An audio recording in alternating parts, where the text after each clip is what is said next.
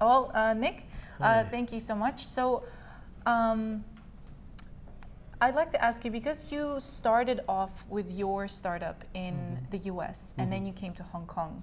So, you've seen both of the sort of startup um, ecosystems. Mm-hmm. W- What do you think Hong Kong could learn from the US and from you know Silicon Valley? What are some of the things that Hong Kong perhaps isn't doing right or is doing right, in your opinion? Sure. Uh, when, I, when we started in the States, I felt that uh, there's so many support from you know private institutions, you know like schools or even the government, or uh, or for example private uh, uh, investors. There are so many angel investors, VCs, and accelerator centers.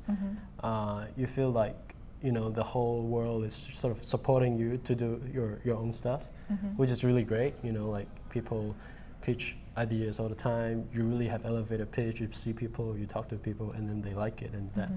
And in Hong Kong, I think uh, the difference is really about you know the community. You know, like we don't have a strong sort of startup community supporting uh, entrepreneurship. Uh, recently, we have you know places like Cocoon or like other startup sort of uh, uh, places uh, to, to gather people. And I think Hong Kong, sh- I mean, will definitely be uh, beneficial to have you know those uh, communities or institutions, for example, Hong Kong U, to support you know uh, entrepreneurship. Right, right. And um, well, you actually started your startup right after, and in fact, in while you were still at university, and you graduated from Harvard, and your partner graduated from MIT. Um, can you give some advice to you know the students that are in universities right now who might have their own idea? What kind of made you take that step to decide you're going to do your own thing? Uh, I think, I mean, I won't uh, strongly recommend to start something while you're studying. I Uh-huh. think study is the time you should have fun.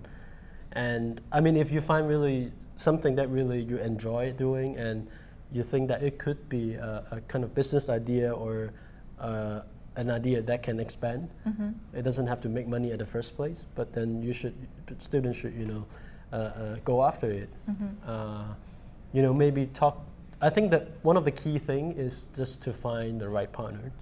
You know, when you're in school, most likely your partners are people you already know. You know, like your friends, your classmates, or maybe even your some professors. You know, I see you know partnership like between professors and students. This happens a lot.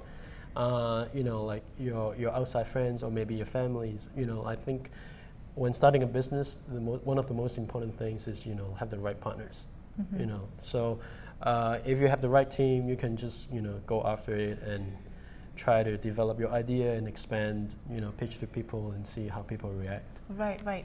And um, with your startup in particular, Eone, Mm-hmm. um, it's it seems like it's like a social entrepreneur, social uh, Mm-hmm. enterprise because you know you're helping uh, blind people, you know, to have timepieces that they can use.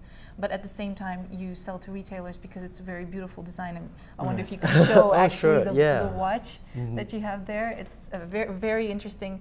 Um, but how? Um, would you would you describe yourself more as a social enterprise then, or would you do you Mhm. do you think of yourself more like as a business? You know, where how do you see how would you describe Right. um, Eone? Uh, we we want to see ourselves as a business entity, Mhm. but then of course what we do is maybe more than what normal business people would do. You know, Mhm. support the underprivileged. But I think that's exactly what uh, we are and our philosophy is. You know, and I don't think that it would be a conflict. Uh, you know, by you know supporting the underprivileged and also selling to Of normal course, people. yeah. And I think that's really strong. That one of the strongest things for us.